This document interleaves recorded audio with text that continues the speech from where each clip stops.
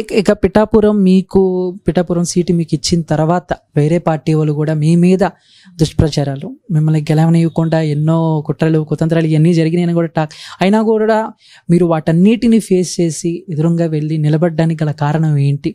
అంటే మీ ఫ్యామిలీ సపోర్టా? లేకపోతే మీలో చిన్నప్పటి నుంచి ఉన్న ధైర్యమా? పవన్ కళ్యాణ్ గారు సీట్ ఇచ్చారు మనం నమ్మకంగా పని చేయాలని ఇదే. అసలు దేనికి మేడం? మీ మీద అన్ని దుష్ప్రచారాలు దేనికి వచ్చాయంటారు కావాలనేనా? లేకపోతే ఏమైనా జరిగిందంటారు? యాక్చువల్లీ ఫ్యామిలీ సపోర్ట్ అంటే మా హస్బెండ్ సపోర్ట్ తప్ప నాకు పొలిటికల్ బ్యాక్గ్రౌండ్ ఉన్న ఫ్యామిలీస్ ఏమీ లేవు. ఓన్లీ సింగిల్ అంటే ఒంటరి పోరాటం చేస్తున్నాను ఇప్పుడు నేను. ఒంటరిగానే పిఠాపురం వెళ్ళడం కాకపోతే నాకున్న మంచితనాన్ని బట్టి మా చుట్టూ ప పది మంది నాకు ఎలక్షన్ చేయడానికి రావడం. రిలేషన్స్కి వచ్చి ఎలక్షన్ చేయమని చెప్పడానికి కూడా టైం లేని పరిస్థితి. ఉన్న ఫిఫ్టీన్ డేస్లో అక్కడ నేను స్థానికురాలు కాదని ఆల్రెడీ అల్లరి చేసేసారు దాన్ని మళ్ళీ అందరితోనూ వెళ్ళి అందరినీ బతి బ్రతిమలాడి అందరినీ నేను మీ మీ మీ బిడ్డ లాంటి దాన్నండి నేను మీతోనే ఉంటాను ఇక్కడే ఉంటాను అని అందరినీ చెప్పు అందరినీ మళ్ళీ క్ల- కలుపుకోవడానికి వన్ వీక్ పట్టేసింది. ఆ తర్వాత ఎలక్షన్ ముమ్మరంగా మేము స్పీడ్గా చాలా స్పీడ్గా ఎలక్షన్ చేయగలిగాం. చే కానీ అప్పటికేంటంటే అక్కడ ఉన్న టీడీపీ నాయకుడు వర్మ గారు జనసేనకి ఓటేస్తే టీడీపీకి వేసినట్టే.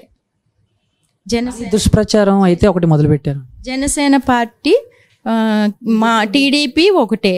మేము ఏడు కోట్లు ఇచ్చి మేము డమ్మీ క్యాండిడేట్ని పంపించమని చెప్పాము. ఇప్పుడు సీట్ ఇచ్చారు. వాదన అయితే వాళ్ళు క్రియేట్ చేశారు. క్రియేట్ చేశారు. అవి వీడియోస్ కూడా రిలీజ్ చేసి జనాల్లో పంపారు. అప్పుడు మేము నేను పలానా గంగరాజు గారు మనవరాల్ని పలా సు పలానా సుబ్బలక్ష్మి మనవరాల్ని నేను నేను పలానా అత్తిల రామారావు కూతుర్ని నేను ఇలా చెప్పుకొని ఇంటింటికి తిరగడానికి నాకు టైం లేదు. ఇప్పుడు ఈరోజు అయ్యో గంగరాజు గారు మనవరాలు అమ్మ నువ్వు. అయ్యో ఎంత ఎంత పొరపాటు జరిగింది నువ్వెవరో తెలియక మేము ఓటు వేయలేకపోయామమ్మా. అప్పటికి తెలుస్తాను డాక్టర్ గారు అయ్యో మాకు వైద్యం చేశారమ్మా డా ఆయన బతికించారమ్మా మా మల్లం డాక్టర్ అమ్మ భార్య అమ్మ నువ్వు అంటే ఇప్పుడు అన్- అందరూ.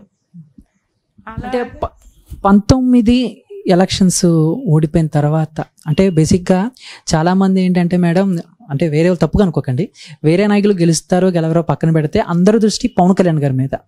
అటు గాజువాక కానీ భీమవరం కానీ రెండిట్లో ఒకటైనా కొడతారు ఆయన ఖచ్చితంగా అసెంబ్లీకి వెళ్తారు. ఇంకా జన సైనికులు అయితే చెప్పక్కర్లేదు. సో రెండు పార్టీలకి మొగుడవుతాడు రంకు మొగుడవుతాడని వాళ్ళ కాళ్ళు ఏదో చిన్న చిన్న లైన్స్ అయితే రాసేసుకున్నారు. కానీ ఆయన రెండు చోట్ల ఓడిపోవటం అనేది ఇంతవరకు ఎవరు అభిమానులు కూడా జీర్ణించుకోలేని పరిస్థితి. మీరు ఎలా రియాక్ట్ అయ్యారు? ఆయన రెండు చోట్ల ఓడిపోయాడని తెలివి తెలియ తెలిసిన తర్వాత? అంటే ఎక్స్పెక్ట్ చేయలేదు. ఆయన ఖచ్చితంగా నెగ్గుతారు. అంటే మేమందరం నెగ్గేస్తామని అయితే అనుకోలేదు. నెగ్గడానికి ప్రయత్నాలు చేసాం మేము. పోరాడాం మేము. కానీ పవన్ కళ్యాణ్ గారు ఓడిపోవడం అంటే అసలు అది ఎవరు ఎక్స్పెక్ట్ చేయలేదు. కానీ పవన్ కళ్యాణ్ గారు అయితే మేము ఓడిపోయారని మేము అనుకోవట్లేదు అసలు. ఓడిపోలేదు. ఆయన నెగ్గారు గెలిచారు. కాకపోతే కొన్ని కారణాల వల్ల ఆ ఓటమి చూపించారు.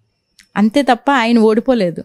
ఆయన ఓడిపోయారన్న మాట అసలు మా నోటంట రాదు రానివ్వం కూడా అని.